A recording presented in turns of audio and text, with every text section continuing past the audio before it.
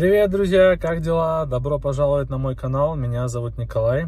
И сегодня небольшое, э, небольшой видеодневник. Э, я сейчас еду в школу за моим сыном и решил записать короткое видео и немного поговорить с вами. Э, сейчас конец мая, и на улице очень хорошая погода. Солнце, нет ветра, тепло. Сегодня температура плюс 27. 27 градусов тепла. Это хорошая, хорошая, практически летняя погода. И многие люди уже планируют свой отпуск. И сегодня мы поговорим об отпуске. Э, самое популярное время отпуска – это лето. Ну, по крайней мере, в России. Может быть, в вашей стране лето – это не самое популярное время для отпуска. Я не знаю. Поэтому напишите в комментариях, пожалуйста, и скажите мне, какое время года самое популярное э, для отпуска в вашей стране или в вашем регионе, или в городе, может быть. А, но в России самое популярное время это, конечно, лето. А, потому что Россия в целом это достаточно холодная страна. А, и лето это время, когда люди могут расслабиться, отдохнуть и поехать на море. Интересная традиция есть в России. Практически каждое лето люди очень хотят поехать на море. Э, и, конечно, есть разные варианты, куда люди обычно ездят. Но э, средний класс, middle class, скажем так, средний класс, э, обычно ездит на Черное море. На Черное море, вот, э, или вообще никуда не ездит. Но проблема в том, что Россия это очень большая страна, и для некоторых людей поехать на море это огромное путешествие, потому что они живут, может быть, в Сибири или на севере и так далее. Чтобы поехать на море, нужно или купить билет на, само, на самолет, что сейчас очень дорого, к сожалению. Или купить билет на поезд и ехать на поезде. Например, я люблю путешествовать на поезде, потому что э, нет турбулентности, э, нет э, паспортного контроля, э, все комфортно, хорошо, работает интернет. Вот, и я люблю смотреть в окно, когда я еду на поезде, но э, это долго, это долго. А на самолете быстро, быстрее, но дороже. Обычно дороже, конечно. И если люди живут в Сибири, например, для них это очень дорого, очень дорого, чтобы купить билет – и поехать на Черное море летом. А, потому что номер один билеты дорогие, а, билеты на самолет. И номер два а, начинается туристический сезон. И когда начинается туристический сезон, то цены на гостиницы, на отдых поднимаются. Поднимаются очень-очень сильно. А, это большая проблема. Поэтому, если вы хотите поехать на море в июле или в августе, это самое дорогое время. Если вы поедете в июне, будет немного дешевле. И если вы поедете в сентябре, будет дешевле. В октябре еще дешевле. Вот. Но э, в октябре уже туристический сезон на Черном море зак закончился. В сентябре заканчивается туристический сезон. Потому что Черное море это не Кипр, это не Испания. А, в Сочи в сентябре может быть тепло, море может быть теплое, но это зависит от года. Иногда тепло, иногда холодно.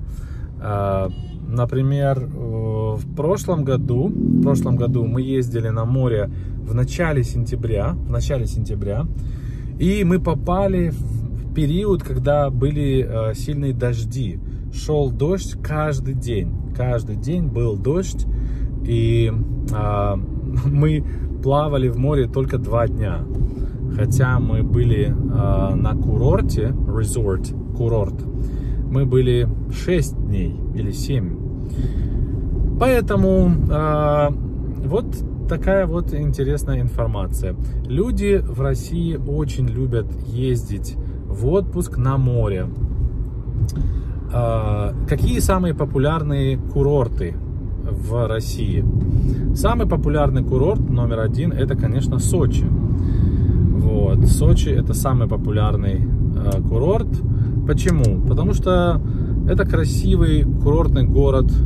Э, его очень красиво сделали, можно сказать, перед Олимпиадой в 2014 году. Там это практически единственный город в России, где есть субтропический климат. Поэтому э, люди любят этот город, потому что там субтропики, там пальмы, там тепло и там э, вот субтропический климат, там влажность. Вот я очень люблю этот климат э, влажный, humid, э, очень люблю. Поэтому э, люди предпочитают Сочи, это номер один. Номер два это Геленджик. Номер два это Геленджик. В Геленджике красивая бухта, очень красивая бухта, вот, и там люди тоже отдыхают. Ну, а также люди э, любят ездить э, в Анапу, э, в Анапу и Новороссийск. Вот. Э, до войны в Украине а, люди также любили ездить в Крым, а, например, в Ялту. Вот. И также популярное место отдыха это, например, Абхазия. Абхазия а, это соседняя республика с Россией на юге. В Абхазию люди обычно ездят в разные места, ну, например, в Сухуми. Сухуми это столица Абхазии. Вот как люди любят отдыхать в отпуске в России. Люди любят ездить на море. Конечно, э, также люди ездят, например, в другие страны, но вы знаете, что после начала войны э, это стало немного проблематичным, и в Европу очень трудно поехать, э, нет прямых рейсов, there is no direct flights, прямых рейсов в Европу, поэтому нужно лететь через Стамбул, а, или другие страны, и это э, дороже, это дороже. Поэтому люди предпочитают э, отдыхать сейчас больше в России или в странах, где э, не требуется виза. Например, в, э, в Европе требуется шенгенская виза. Но можно поехать, например, в Грузию. Вот, например, я сейчас нахожусь в Тбилиси, это столица Грузии, а, соседний, а, соседняя страна на юге. Также есть другие а, страны, например, Турция или Египет или Арабские Эмираты. В эти страны не нужна виза, если у вас российский паспорт. Также можно поехать в другие страны, но дальше, например, в Таиланд или во Вьетнам, Э, это далеко, и билет на самолет достаточно дорогой. Но тоже не нужна виза. А, некоторые люди не любят ездить на море и любят, например, ходить в походы, в горы. Например, в России, на юге, России, на юге, на Кавказе есть очень высокие и красивые горы. И люди также любят отдыхать там. Они ходят в походы, берут палатки, делают пикники, э, или ездят, например, на озеро, или ходят в лес. Э, есть много разных вариантов, как люди отдыхают э, в отпуске.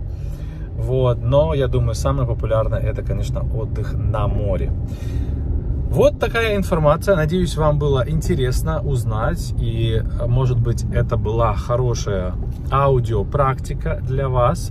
Напишите, пожалуйста, в комментариях, сколько процентов вы поняли из того, что я говорил. Может быть, вы поняли абсолютно все. Напишите 100%. Или, может быть, вы поняли 50%. Напишите в комментариях. Или, может быть, вы не поняли ничего. If you didn't understand anything, just write, I didn't understand anything. Thank you so much for watching this video. I hope I'll see you next time. Пока-пока.